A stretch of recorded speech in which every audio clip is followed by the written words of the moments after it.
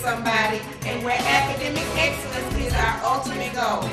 What led to Key School's academic achievement and the strategies that we use? Um, we do have a rotating daily schedule.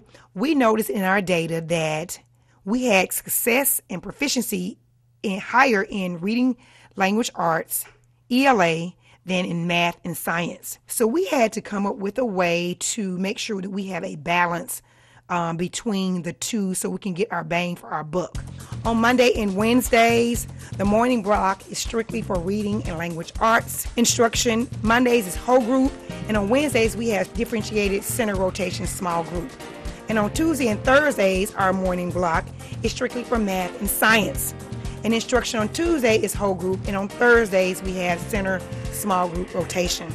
Also, we have FIT cross grade level team planning time, and it consists of grade level team meetings. There are FIT cross grade level team meetings for grades 3 through 5, which includes a teacher from grades K through 2 to review data and discuss strategies and assessments outcomes bi-weekly. I'm Millicent Stevenson, the fourth grade teacher at Key Elementary. I've been here for six years. When I started here, Key Elementary was a D school. For the last four years, we have been a B school, and we're now at an A, so we have nothing to do but maintain. It makes me feel good because we grow from a B average to an A average. I think our success is based on student accountability. I think students are aware of where they are at all times with their testing scores. They know what their goals are, so they know what they're working towards. It's not like they're shooting in the dark. They know that, okay, I made this on this test. By the next test, I need to show this much growth.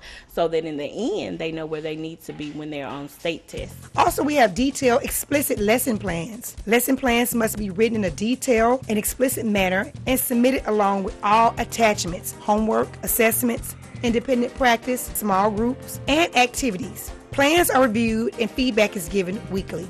And then we sit down to analyze with teachers and give them feedback to see if we need to uh, adjust instruction based on data. Also, we have weekly assessments and data analysis. Common weekly assessments are created and administered bi weekly for our teachers and for our students. The best thing I like about Key is teachers because they learn while the students learn, and also they're kind and nice.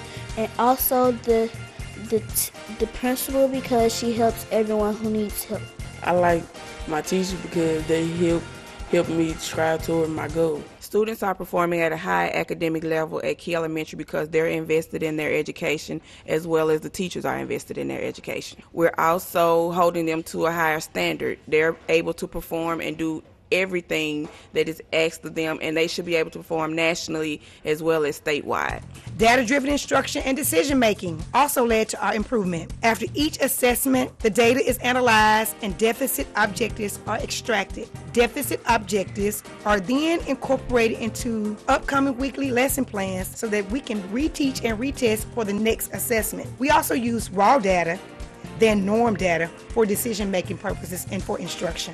Um, what I love about support as far as our school is that teachers are allowed to share resources across grade levels because sometimes something that may work for you in a lower grade, I may need it for a TST student or something. And I also like the fact that we do in area to have um, content sessions where we're able to share different ideas with people that's at a different school. So they may have performed higher on the standard than my class, and I'm able to say, well, hey, what did you do to get your kids to score high? Steps we use to sustain the success at Key Elementary School. We first focus on growth. We focus on all students moving from pre K all the way to fifth grade. Even though students are just third, fourth, and fifth grade or tested areas, every student count with growth.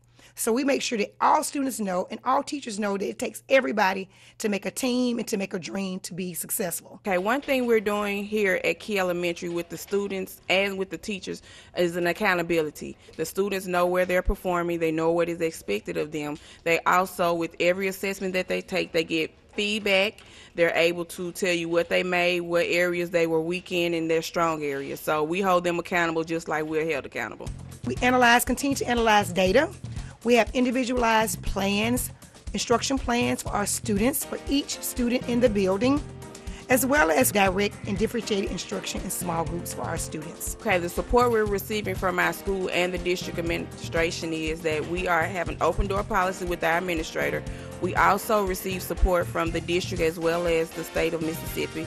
We have been released because of our success from using a literacy coach, which came in and gave us constructive criticism. They came in and taught lessons with us to help us improve areas that we struggled in as well as with our students. I am very proud of the success of our teachers and students. So when you rise to the top, you have to sustain at the top. So I am so glad to be the instructional leader at Key Elementary School. I don't take any credit for what teachers and students do each and every day because as teachers are make, making it happen at Key Elementary School. They take pride in what they do every day. For us to continue to stay successful, I think we don't need to become relaxed. I think we need to keep pushing, keep moving, and keep growing and stay focused on the goal because we know that we got our A from growth. So we're all about growing. We have great parent support. We need our parents to continue to support us. We need our students to continue to do their academic best, whatever their academic best is. And for the teachers to continue to love what we do and give our best and continue to grow. So our parent involvement is very, very strong at Key Elementary School. When the students know you got the parent and the, uh, the school on as one team, you will have success. So I have the best parents, not only in Jackson Public Schools, but in the United States. So I'm so proud of our parent involvement that we have at Key Elementary School. I plan to study and work hard to accomplish my goals. I plan to keep studying hard and do my best. I am the most proudest person in America when we receive the A. So we're improving every day. I have the most outstanding staff and teachers and students, and we're going to stay at an A.